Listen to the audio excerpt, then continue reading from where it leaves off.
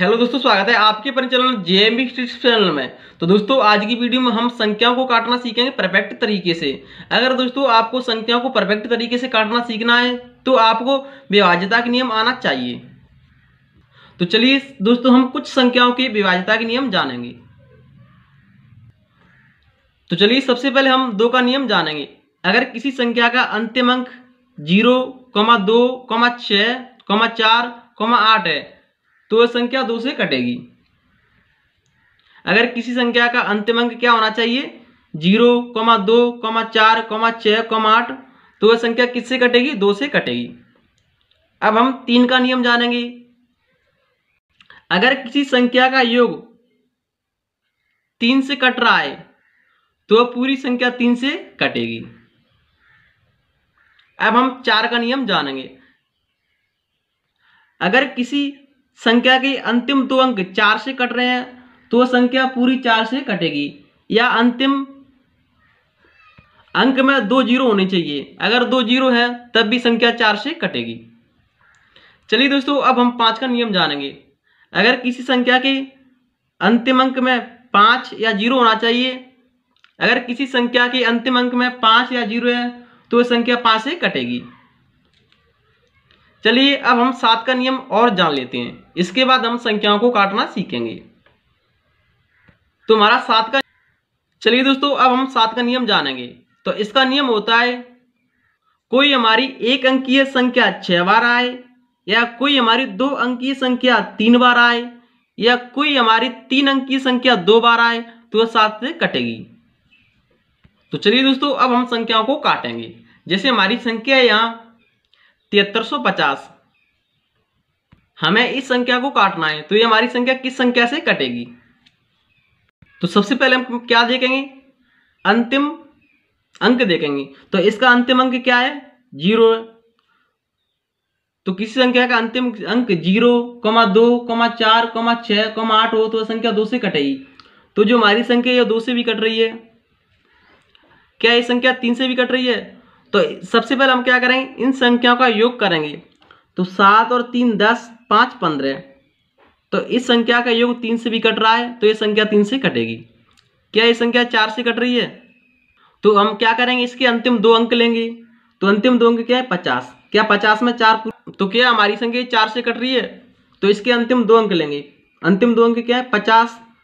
तो क्या है? पचास से चार से पूरी तरह कट रहे हैं या नहीं कट रहे हैं? तो ये चार से पूरी तरह नहीं कट रहे हैं, क्योंकि दो से इस फल बच रहा है। क्या ये संख्या पाँच से कट रही है? हाँ कट रही है, क्योंकि इसका अंतिम अंक क्या है? ज़ीरो। तो किसी संख्या के अंतिम अंक में ज़ीरो या पाँच होना चाहिए, वह संख्या पाँच से कटेगी। तो सबसे पहले हम इसको बड़ी संख्या से काटेंगे तो इसको हम पाँच से काटेंगे। तो तिहत्तर, पचास, इसमें हम पाँच से भाग देंगे। तो पाँच का भाग हम सात में देंगे तो कितनी बार जाएगा? एक बार। तो यहाँ एक लिखेंगे। सात में से पाँच गया तो कितना बचेगा? दो। तो संख्या दो से पर बचेगी। तो यहाँ संख्या बन जाएगी तेईस। अब हम पाँच का भाग तेईस में देंगे तो कितनी बच जाएगा? चार बार। तो तेईस में से बीस गया तो कितना बचेगा? तीन। तो यहाँ संख्या बन जाएगी पैंतीस। अब हम पाँच का भाग पैंतीस में देंगे तो कितनी बच जाएगा? सात बार। ज़ीरो की ज़ीरो लिखेंगे। अभी हमारी संख्या पाँच से कट रही है, क्योंकि इसका अंतिम अंक क्या है? ज़ीरो है। तो इसमें पाँच से भाग फिर देंगे हम। तो पाँच का भाग हम चौदह में देंगे तो कितनी बार जा रहा है? दो बार। तो यहाँ दो लिखेंगे। चौदह में से दस गया तो कितना बचेगा? चार। तो यहाँ संख्या क्या बन जाएगी? सैतालीस। अब हम पाँच का भाग सैतालीस में देंगे तो कितनी बार जाएगा? नौ बार। सैतालीस में से पैंतालीस गया तो कितना बचेगा? दो। यह संख्या बन जाएगी बीस। पाँच का भाग हम बीस में देंगे तो कितनी बार जा रहा है? चार बार। तो यहाँ कितनी संख्या आएगी? दो सौ चौरानवे। तो इसको हम यहाँ लिख लेंगे। क्या अब ये संख्या किसी संख्या से कट रही है? हाँ ज़रूर कट रही है। अभी ये हमारी संख्या दो से कट रही है। तो इसमें हम दो से भाग देंगे। तो दो का भाग हम दो में देंगे तो कितनी बच जाएगा? एक बार। दो का भाग हम नौ में देंगे तो कितनी बचेगा? चार बार। नौ में से आठ गया तो कितना बचेगा? एक। तो यहाँ संख्या बन जाएगी चौदह। तो दो का भाग हम चौदह में देंगे तो कितनी बचेगा? सात बार। तो यहाँ हमारी संख्या क्या आएगी? एक सौ सैतालीस। क्या अब भी हमारी संख्या किसी से कट रही है? हाँ ज़रूर कट रही है। अगर हम इन संख्या का योग करेंगे तो कितना आ रहा है? बारह आ रहा है। सात, चार, ग्यारह, एक, बारह। तो जब हम किसी संख्या का योग करते हैं और उस संख्या का योग अगर तीन से विवाहित हो रहा है तो संख्या तीन से कटेगी। तो बारह तीन से भी कट रही है तो ये संख्या पूरी तीन से कटेगी। तो इसमें हम तीन से भाग देंगे। तीन का भाग हम चौदह में देंगे तो कितनी बार जा रहा है? चार बार। तो यहाँ हम चार लिखेंगे। हमारी शेष फल क्या बचेगी? दो। क्योंकि चौदह में से बारह गया तो दो ही तो बचेगा। तो यहाँ संख्या बन जाएगी सत्ताईस। तीन का भाग हम सत्ताईस में देंगे तो कितनी बार जा रहा है? नौ बार। तो यहाँ हमारी संख्या क्या आएगी उनचास।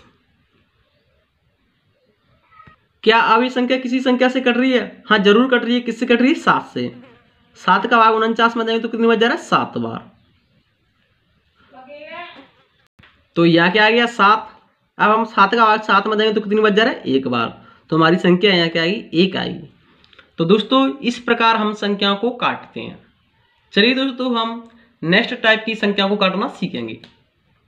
हमारी संख्या है चौंसठ बट्टे अठारह। इसको हमें काटना है।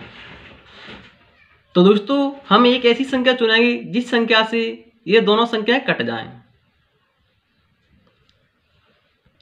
तो दो से चौंसठ भी कट रही है, दो से अठारह भी कट रही है। तो दो का भाग हम चौंसठ में देंगे तो कितनी बार जा रहा है? बत्तीस बार। दो का भाग हम अठारह में देंगे तो कितनी बार जा रहा है? नौ बार। क्या दोस्तों, अब कोई ऐसी संख्या है जो इन दोनों को एक साथ काट सके? तो दोस्तों, अब ऐसी कोई संख्या नहीं है जो दोनों को एक साथ काटे। तो इसका आंसर हम यहीं छोड़ देंगे। तो इसका आंसर क्या रहेगा? बत्तीस बट्टे नौ ही रहेगा। तो हमारी अगली संख्या है छिहत्तर चौरासी बट्टे एक सौ साठ। इस संख्या को हमें काट रहा है। तो इस संख्या के अंतिम अंक दो चार से भी कट रहे हैं और इस संख्या के अंतिम अंक दो चार से भी कट रहे हैं। तो इसको हम चार से काटेंगे। चार का भाग सात में जा रहा है जा रहा है कितनी बार जा रहा है? एक बार जा रहा है। चार एकम चार। शेष पर कितनी बचेगी? तीन। क्योंकि सात में से चार गया तो तीन ही तो बचेगा। तो यह संख्या बन जाएगी छत्तीस। चार का भाग छत्तीस में देंगे तो कितनी बार जा रहा है? नौ बार। चार का भाग हम आठ में देंगे तो कितनी बार जा रहा है? दो बार।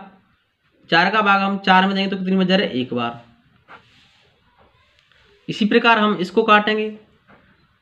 चार का भाग हम सोलह में देंगे तो कितनी बच जा रहा है? चार बार ज़ीरो की ज़ीरो। तो दोस्तों, इस प्रकार हम संख्याओं को काटते हैं। अगर दोस्तों आपको वीडियो पसंद आए तो प्लीज़ वीडियो को लाइक करें। अगर आप चैनल पर नए हैं तो प्लीज़ चैनल को भी सब्सक्राइब करें। जय हिंद।